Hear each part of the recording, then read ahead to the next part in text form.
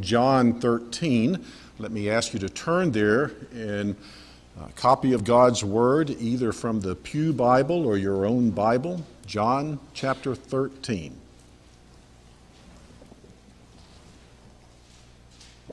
I'll be reading the opening 17 verses. This is God's Word. Let us give careful attention to its reading. Now, before the feast of the Passover, when Jesus knew that his hour had come to depart out of this world to the Father, having loved his own who were in the world, he loved them to the end. During supper, when the devil had already put it into the heart of Judas Iscariot, Simon's son, to betray him, Jesus, knowing that the Father had given all things into his hands, and that he had come from God and was going back to God, rose from supper. He laid aside his outer garments, and taking a towel, tied it around his waist. Then he poured water into a basin and began to wash the disciples' feet and to wipe them with the towel that was wrapped around him. He came to Simon Peter, who said to him, Lord, do you wash my feet? Jesus answered him, What I am doing you do not understand now, but afterward you will understand. Peter said to him, You shall never wash my feet. Jesus answered him, If I do not wash you, you have no share with me. Simon Peter said to him, Lord, not my feet only, but also my hands and my head. Jesus said to him, The one who has bathed does not need to wash except for his feet, but is completely clean. And you are clean, but not every one of you. For he knew who was to betray him. That was why he said, Not all of you are clean. When he had washed their feet and put on his outer garments and resumed his place, he said to them, Do you understand what I have done to you? You call me teacher and Lord, and you are right for so I am.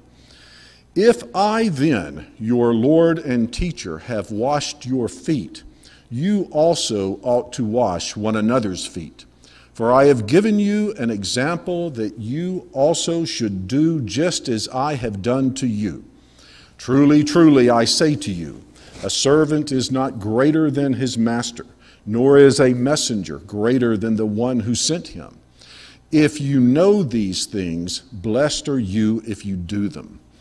I'm not speaking of all of you.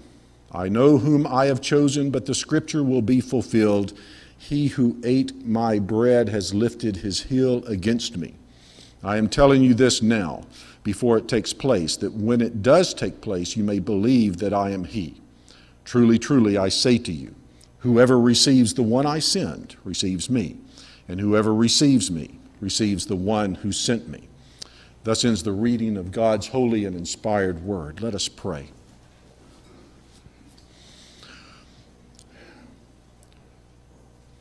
O oh Lord, we sense that we are on very holy ground as we contemplate this upper room uh, experience before our Lord's crucifixion and death. Please give to me all due words to communicate clearly the importance of, of the teaching here. Give us all, O Lord, ears to hear, we pray, and a will that will apply and remember this mighty picture of our Savior. It is in His name we pray. Amen. We started this sermon series on John chapters 13 through 17 last week, really just looking at the first verse. And it's, that first verse stands as something you might say of a title, of an inscription over this whole segment of John's gospel. And it speaks to us about the love of the Savior. In other words, everything that's going to be said and done is going to be motivated by our Savior's love for His own. And that's still the issue here. So we're still talking about love here, but we're going to be picking up on, uh, you might say, characteristics of that love, characteristics, how, how it is described.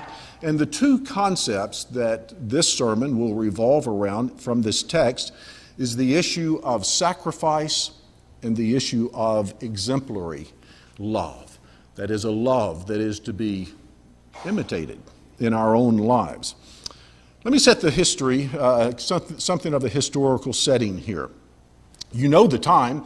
We've said that they are basically preparing for the Passover meal, the Last Supper. And so they're in this room, and Jesus is there.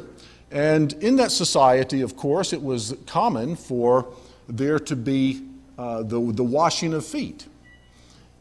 Obviously, in that society, sandals were common, and so, and roads were not paved.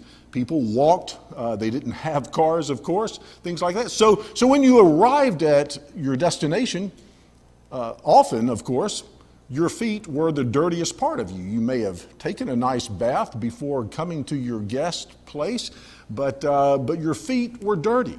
And so it was customary, of course, for feet to be washed. But this was seen in society. Though it was something necessary, it was seen as a humiliating act to do. Jewish men would not, uh, peers basically would not wash one another's feet. They wouldn't do it. In other words, you, you kind of had a hierarchy. Uh, if, if you went over to my house, I would not wash your feet. Um, uh, you know, the, the ball might begin to roll downhill, so to speak. Um, might look, well, would Cecilia wash your feet? Well, no. Well, would one of my children wash my, your feet? No. In other words, whoever the lowest person in the setting was, basically, that would be the person that would, would wash feet. And hopefully, in this society, it would be some type of Gentile slave. We don't even want to get a Jew's hands doing this, and yet it was customary. It was, but this is a lowly act. The only thing that, that comes to my mind, and I'm not going to try to, to, to be gross, but, but just trying to get a sense of what our Lord does here, uh, the only illustration that comes out of my uh, history, my life, is as a child, uh, my mother was one of 11 and uh, she was j- just literally dirt poor. She was the daughter of, of sharecroppers in South Alabama. And uh, so now I grew up in Montgomery, Alabama, and so I grew up in the city and had running water and things, but we called it going to the country. We would go and visit um, my grandparents and relatives down in the South Alabama. And when you got there, the house was um, heated by, by wood and fireplaces. Things were cooked on a um, charcoal stove. There was a well out back, and there was the outhouse. Now, in a society like that, at night you had, I'll, I'll call them chamber pots. And you know what they're used for. And like I said, I'm not trying to be gross, but as the night goes on, morning comes, who's going to empty them? What if that is your job? To go through the house, pick up the pots, and take them out to the outhouse. That's the kind of, of, of event we just read about. It was seen like that. This, this lowly task and yet it was expected to be done. And so that leads to our first real point sacrificial love.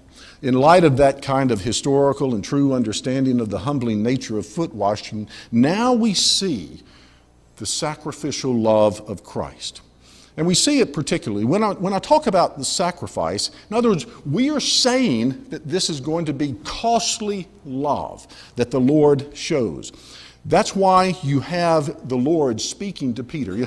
Peter is such a wonderful character in, in the Gospels. Uh, the Lord has risen, taken off his outer garments, has taken up the basin and the towel, and he's going about washing feet. And Peter just wants, Peter recognizes this is not right. This should not be happening. It's interesting, he doesn't offer to take his place, but uh, it's, it's not right. And then the Lord says some things that, that, uh, that begin to be very important. He says that uh, if I don't wash you, you will not have a share in me. And you don't understand exactly, Peter, what's going on right now. You understand I'm washing feet, but it's really pointing to something greater. To say this um, action is costly, the Lord Jesus, you see, is heading to Calvary, where he's going to die that cruel death. That's what this is pointing to. It's something of an enacted parable of what it means. And we want, we want to understand this. Uh, we haven't taken the time, of course, to go through the earlier 12 chapters of John. But who is this? Bending the knee. John's gospel, the early points, are composed really of two, uh, two elements. There are the signs that Jesus does, and there are the I am statements. And so, who is it that is bending the knee, taking a dirty foot? This is the one who healed the royal official's son in Capernaum in John 4. This is the one who healed the paralytic who had been paralyzed for like 38 years at the pool in Beth, uh, uh, Bethesda. This is the one who blessed the bread and broke it and fed 5,000 people. This is the one who heals the man blind from birth. This is the one who says, I am the bread of life. I am the light of the world. I am the door of the sheep. I am the good shepherd. I am the resurrection and the life. I am the way, the truth, and the life. I'm the true vine and I'm on my knees with a basin and a towel, washing feet. And what is really interesting, you see, when we talk about this cost, see, the disciples, if they weren't, they should have been horribly embarrassed at this, at what our Lord does in humbling himself like this. But you see, even this is going to pale into insignificance. The cross will make the washing of the disciples' feet seem insignificant. The Lord Jesus is giving that picture of what he will do and accomplish for sins to be forgiven. And by the way, and, and that's, that's the importance of his words to Peter here. When we say sacrificial and costly, it, it is going to cost him his very life for you and for me, for our sins to be forgiven. And I know that that is an old story to you. I know you've heard it, but we want to see it freshly again in this event. And Jesus is claiming here to be the way for sins to be forgiven. He is the one. I must wash you if you are to be clean. There's another lesson here, of course, about how the dailiness of this. We, we said today the Lord's Prayer, and rightly so. Uh, that can be very much a daily prayer. Give us this day our daily bread, the prayer says, meaning that it is something to repeatedly say. And that's the point of Jesus' words here also when he says, the one who's clean only needs to have his feet washed. He's, say, he's speaking of our need regularly, repeatedly to go on a daily basis and say, Lord, I am before you today still as someone who needs your grace. And thank God, He grants that. And so this is a sacrificial love that is here, a costly love. It is the picture of what is going to happen. But I want to press forward because this is an exemplary love.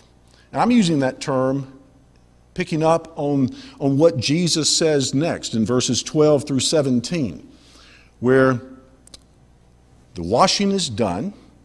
He resumes his place and he says, You call me Lord and teacher. And you are right to do that. I am your Lord. I am your teacher. I am your instructor, he's saying to them and to us. You're right to do that, to call me those things. In verse 15 I have given you an example that you also should do, just as I have done to you. And then he gives the two illustrations. Who's the greater in the household, the servant or the master? Well, obviously, the master is the greater one. Well, if the master does this, surely the servant should also. And then the other, uh, the messenger and the one sent. Who's the greater? Well, it's the sending person. That's the greater one.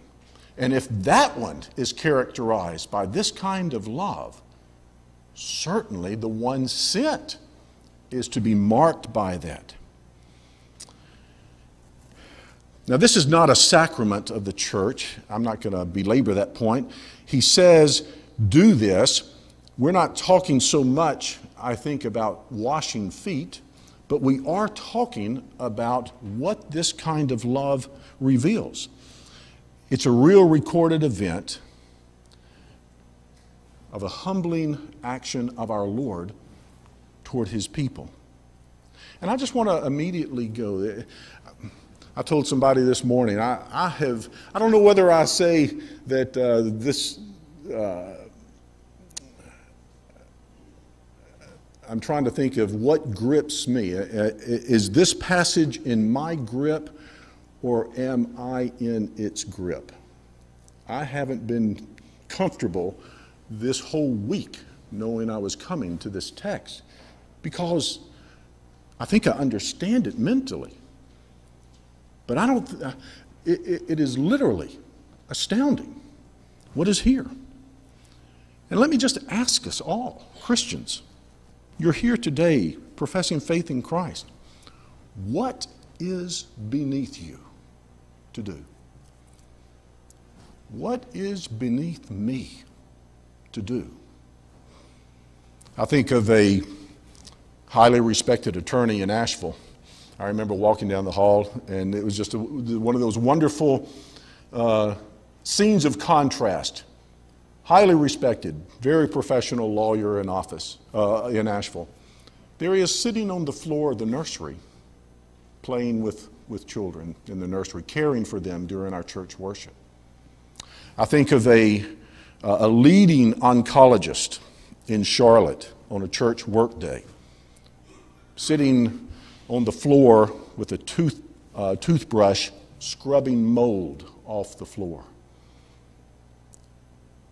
And we could keep going on and on with illustrations, but I think that is a very important question.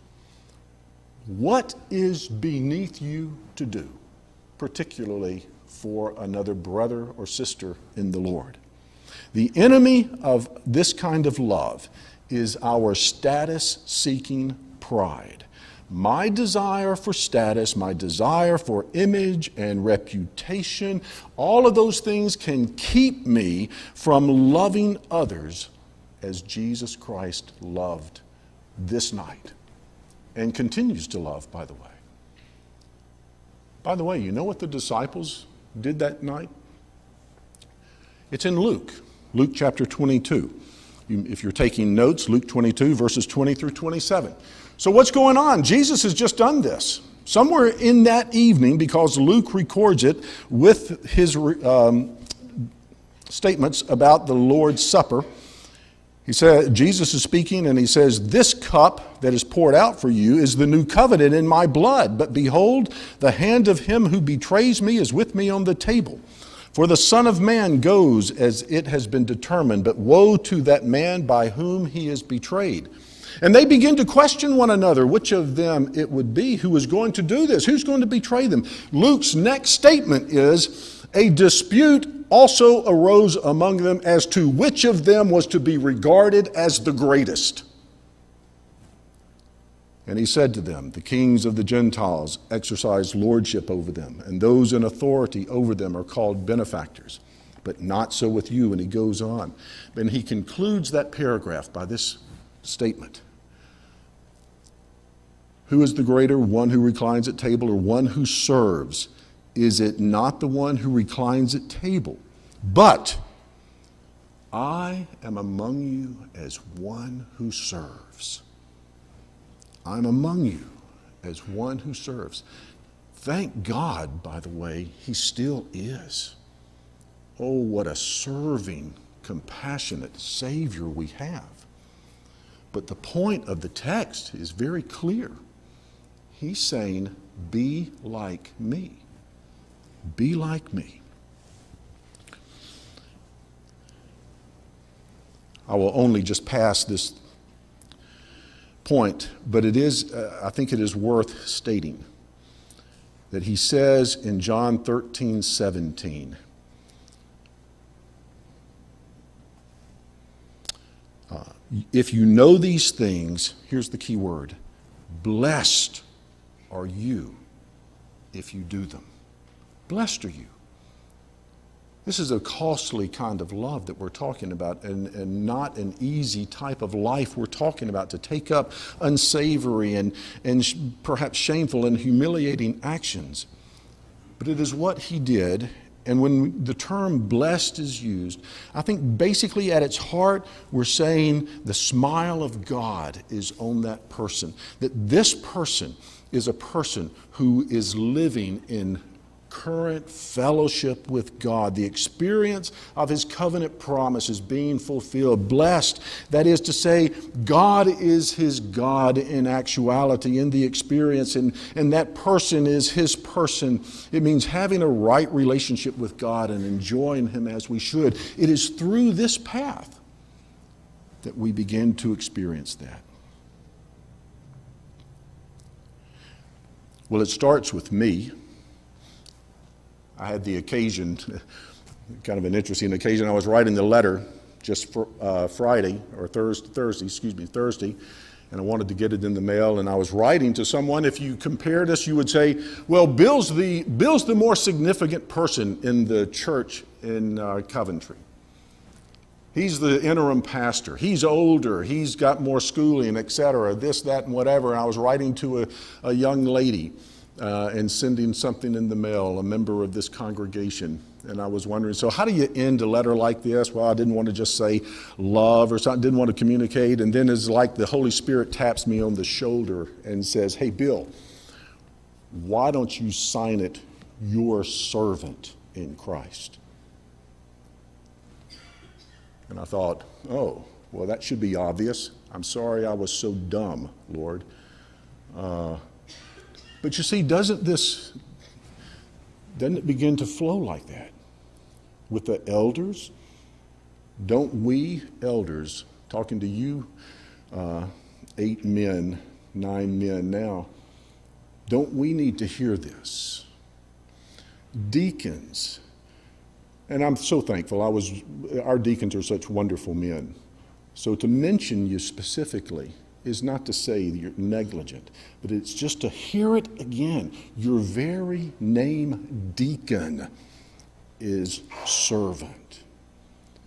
And then each one of us, what would this principle mean for a husband loving his wife? What will it mean for a father loving his children? I'm not saying there's not authority structures and things like that and, uh, and such. Children are not going to be able to re- remove the authority of a father from this, but what does it mean? What does it mean for church members to relate to one another? If we understand that we have that picture of basin and towel. We're going to move to uh, three successive actions that I hope implant this basic message. We're going to sing a hymn. It's a hymn that you don't know, probably. It's not a well known hymn, but turn to hymn number 239. Turn to hymn number 239.